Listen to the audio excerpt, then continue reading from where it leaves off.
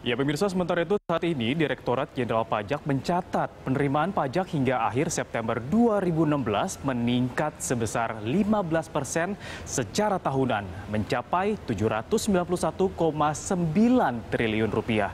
Meski demikian, realisasi ini masih jauh dari target penerimaan pajak tahun ini sebesar 1.318 triliun rupiah.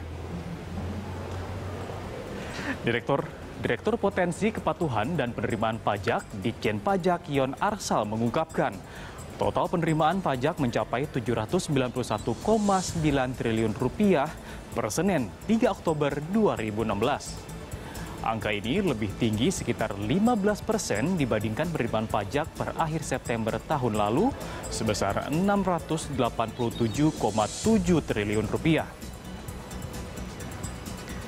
Sementara itu kontribusi teks amnesti mendongkrak penerimaan pajak tercemin dari perolehan pajak penghasilan non migas yang melesat hingga 97 persen.